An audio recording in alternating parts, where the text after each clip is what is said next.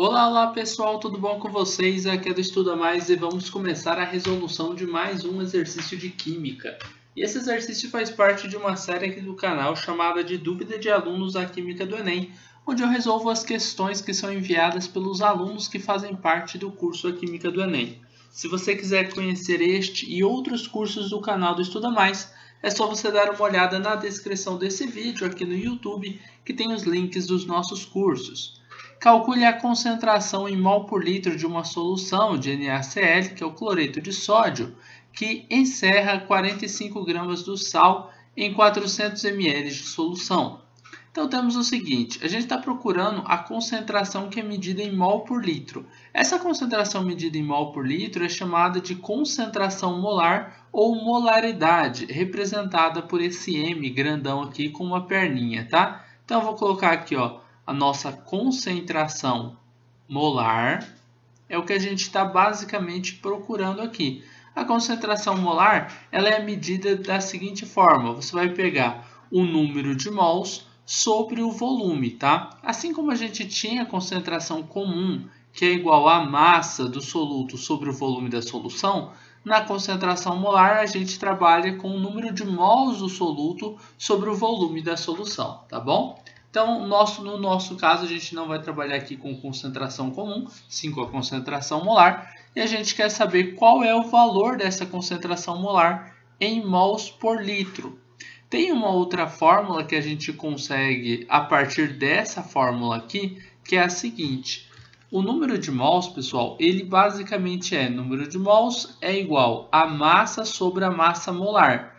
Você pode substituir o número de mols nessa fórmula pela massa sobre a massa molar. Assim você terá uma nova fórmula para concentração molar que vai ser massa sobre massa molar vezes volume. Então, essa fórmula aqui é igual a essa fórmula, só que abrindo o número de mols e deixando massa sobre massa molar no lugar de número de mols, tá bom? Então, a gente vai trabalhar com essa fórmula aqui ah, na videoaula de hoje, mas poderíamos também ter trabalhado com a primeira, não teria problema nenhum trabalhar com a primeira fórmula, tá? Então vamos começar aqui a resolução dessa questão, mas antes vamos separar tudo que a gente tem. Concentração molar é o que a gente não sabe, né, de uma solução de NaCl. Então a gente sabe que a solução é de cloreto de sódio. Qual a importância de saber isso? Você sabendo a massa, a fórmula molecular, você consegue calcular a massa molar dessa molécula. Como que eu calculo a massa molar da molécula?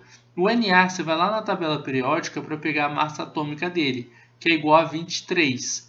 E você vai somar a massa atômica dele com a massa atômica do outro átomo que a gente tem aí, que é o cloro. Na tabela periódica vai estar lá que é de 35,5. Observe que esses dados você não precisa ter decorado, é só você observar em uma tabela, tá bom? E aí você vai somar esses dois valores. 23 mais é, 35 vai dar 58, como a gente tem 1,5 ali, vou colocar ele aqui, gramas por mol. Isso aqui é o que a gente chama de massa molar, que é representado por uma emissão assim, tá bom? Então a massa molar do cloreto de sódio já está aí calculada. O que mais a gente tem? A massa, nós sabemos que ela vale 45 gramas, ok. E sabemos que o volume ele está valendo aí 400 ml. Então vamos colocar ele aqui, 400 ml. Agora eu vou colocar aquela fórmula que eu disse que a gente ia trabalhar. A gente tem concentração molar é igual a massa sobre a massa molar vezes o volume. Uma coisa que você tem que ficar atento é em relação às unidades de medida que a gente vai ter dentro dessa fórmula, tá? Você não pode chegar aqui e colocar a massa, sei lá, em toneladas, em quilogramas. A massa nessa fórmula, ela deve estar em gramas. O volume necessariamente precisa estar em litros. A massa molar precisa estar em gramas por mol. Tá? Se você quiser, sei lá, depois encontrar uma massa em quilograma, alguma coisa assim, sai da fórmula e faz a conversão de unidades por regra de 3, tá? Normal. A concentração molar ela é medida em mol por litro. Dentro dessa fórmula você vai trabalhar com essas unidades para não ter nenhum erro, ok? Então vamos lá. Concentração molar. Ela vale quanto? Bom, isso é justamente o que a gente não sabe, né? A gente não sabe o valor dela. A gente sabe o valor das outras coisas. Por exemplo, a massa, o exercício ali falou pra gente que era de 45 gramas. Vou colocar aqui no, no lugar do M de massa. A massa molar, que é esse emissão aqui de baixo, a gente calculou aqui, ó, 58,5 gramas por mol. Então, vamos colocar aqui. 58,5 gramas por mol vezes o nosso volume, que é de 400 ml. Aqui tem um problema. Esse volume ele precisaria estar em litros. Então, para a gente converter de ml para litros, o que, que você tem que fazer? Pegar esse valor e dividir ele por mil. Tá? Dividindo 400 por mil vai dar 0,4 litros. E é esse volume que a gente vai colocar dentro da fórmula, tá bom? Então, eu vou colocar aqui vezes 0,4 litros. Agora, continuando, a gente vai fazer a multiplicação desses dois números aqui de baixo, tá? 58,5 multiplicado por 0,4. As unidades, nenhuma delas vão se cortar, então a gente basicamente vai ter que a concentração molar é igual a 45 gramas. Essa multiplicação 58,5 vezes 0,4 vai dar 23,4. Deu 23,4 gramas por mol sobre, multiplicado por litro. Aqui nessa divisão, o grama vai cortar com grama e o mol e o litro eles vão inverter suas posições. Então a gente vai ter que a concentração molar vai ser igual nessa divisão a 1,92, tá?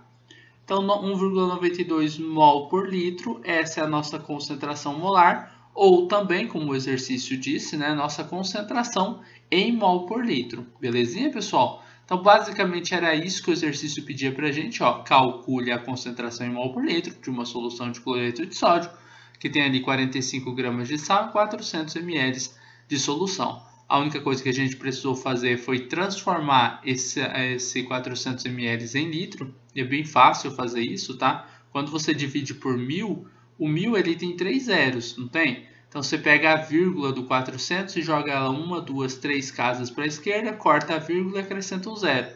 Ou seja, dá 0,4 ou 0,400 que dá na mesma, tá? Aí a gente aplicou nessa fórmula da concentração molar, tá? Que foi uma variação da fórmula que eu mostrei para vocês inicialmente, que é número de mol sobre volume, tá? Aqui eu só abri o número de mols em massa sobre massa molar calculamos a massa molar com dados que você só pode encontrar na tabela periódica. O exercício poderia ter te dado, não foi o caso, então você tem que olhar na tabela, não precisa decorar esses dados. E terminamos por aqui a resolução desta questão de química. Ah, eu espero que vocês tenham gostado deste exercício. Se vocês gostaram, não esqueçam de deixar um like neste vídeo e de compartilhar em suas redes sociais para que seus amigos também possam conhecer o canal do Estuda Mais. Assim vocês poderão estar ajudando seus amigos e com certeza estarão ajudando aqui no crescimento deste canal. Muito obrigado mesmo por sua audiência. Forte abraço, a gente vai se encontrar em uma próxima videoaula. Até mais!